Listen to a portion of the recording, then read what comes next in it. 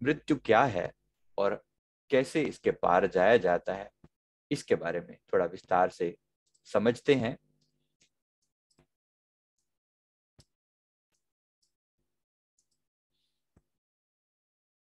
मृत्यु के बारे में हम सभी के अपने अपने विचार हैं और सदा सर्वदा से ही इंसान जो है इस बात में इंटरेस्टेड रहा है, इस बात को जानने में कि आखिर मृत्यु के बाद ऐसा क्या होता है, कौन सी घटना घटती है इंसान के साथ क्या होता है? आखिर जानना चाहता है वो कि भाई क्या होता है मृत्यु के बाद?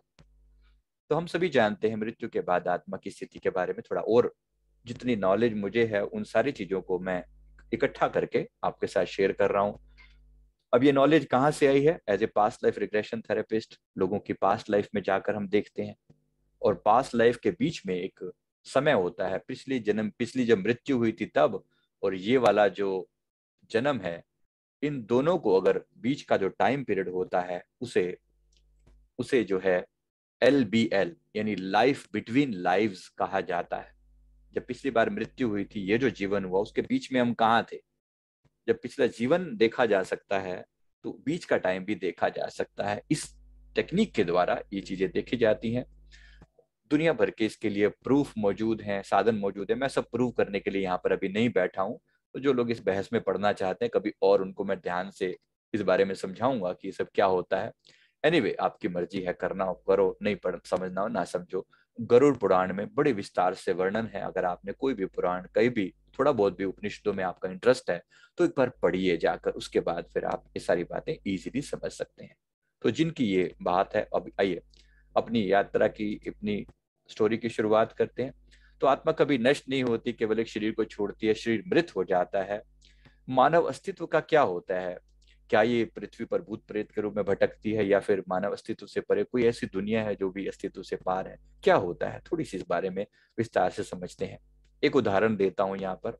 स्टीव जॉब्स, एप्पल के जो सीईओ स्टीव जॉब्स रहे हैं, सभी बहुत से लोग एप्पल का फ़ोन यूज़ करते हैं, जानते हैं आप इनके जो सीईओ रहे हैं, जिन्होंने ये डिस्कवर किया, जिन्होंने ऐसी चीज़ें बनाई। उनकी, जब मृत्यु हुई, मरने के कुछ टाइम कुछ सेकंड पहले की उनकी उनकी बात जो है, उनके मुँह से ये शब्द निकले थे, ये उनकी ऑफिशियल जो किसी उनकी पर्सनल वेबसाइट है, वहाँ पर भी चीज़ मेंशन है। He had something like oh वाह कुछ ऐसा इन्होंने इनके मुँह से निकला ओ वाह मौत के समय में एक व्यक्ति के मुँह से आश्चर्य का भाव प्रकट होना कोई छोटी बात नहीं है। कहीं ना कहीं इन्हें वो गहरी अंडरस्टैंडिंग थी जहाँ से हम कुछ इसके बारे में निष्कर्ष निकालते हैं। आपने भी कुछ लोगों की मृत्यु में उनके चेहरे पर मुस्कुराहट आती हुई देखी होगी। हालाँकि बहुत रेयर होते हैं, बहुत रेयर सौ में से कोई एक आध, एक ऐसा निकले या शायद हज़ार में से कोई एक आध निकले जो मुस्कुराते हुए जाते हैं। राइट अधिकतर लोग तो यहाँ से रोते, चीखते, चिल्लाते जाते हैं। कोई भाग्यशाली ऐसा होता है जिन्होंने जीवन के इस राज को समझा होता है। तो इस इस जगत में से निकलते हुए उनके चेहरे पर एक विस्मय, एक आनंद, एक आश्चर्य और प्रेम का भाव पैदा हो जाना बड़ी बात है। तो कुछ सेकंड बाद ही उनकी डेथ हो गई। लोग समझ नहीं पाए कि ऐसा कैसे हो सकता है। कोई व्यक्ति मौत के समय में वाह कैसे कर सकता है? हमने और चीज़ों पर लोगों को वाव करते हुए देखा है राइट कोई अच्छी चीज़ देखते हैं तो बोलते हैं, वाह, क्या बात है। ऐसा क्या दिखा उनको? अब ये हम नहीं कह रहे कि एकदम से मैं कोई व्याख्यान कर सकता हूँ, लेकिन कुछ बातों पर हम नज़र डालते हैं कि होता क्या है। शायद हम कुछ बातों को और अच्छे से समझ पाए। तो कोई खुशी थी उनका? क्या वो कैंसर का दर्द था? Because he was he was he died from cancer क्या वो कैंसर से, दर्द से मुक्ति का अनुभव कर रहे थे? या फिर वो कुछ ऐसा देख रहे थे जो हमारी कल्पना से परे है? या वो कोई ऐसी जगह देख रहे थे जहाँ वो जाने वाले थे, जिसके बारे में हम ये बात कर रहे हैं? राइट तो चलिए, इसके बारे में थोड़ा और विस्तार से समझते हैं। तो इसी तरह से British neurosurgeon doctor Eben Alexander coma से निकले तो उन्होंने अपने अनुभव को बताया। तो उन्होंने कहा कि मौत के बाद बहुत कुछ अलग होता है। ये सब अनुभव वर्णन किए हुए हैं, कोई मैं अपनी तरफ़ से बनाकर नहीं बोल रहा हूँ, इसलिए मैं आपको रेफरेंसेस दे रहा हूँ, शायद आपको कुछ समझ में आ जाए इस बारे में, क्योंकि बहुत से लोग इसके बारे में बोलते हैं कि नहीं नहीं, ये सब ऐसी है, वैसे, आपकी मर्ज़ी, अगर ऐसी है, वैसे है तो मैं इसके बारे में कोई ज़्यादा बहस नहीं करूँगा।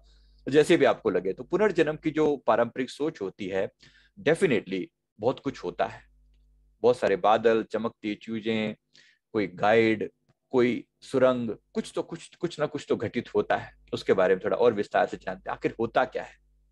मृत्यु के बाद आत्मा की अवस्था कैसी होती है?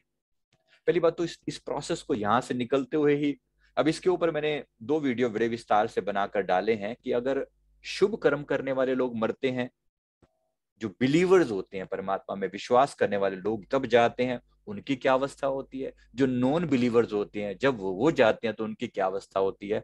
और जब कॉमन इंसान जाता है, जिस, जो, जिसके शुभ भी हैं और अशुभ भी हैं मिक्सिंग है, ऐसे लोगों की क्या अवस्था होती है? क्योंकि इसको जानने से के बाद ही आप चीज़ों को बेहतर ढंग से समझ पाएँगे।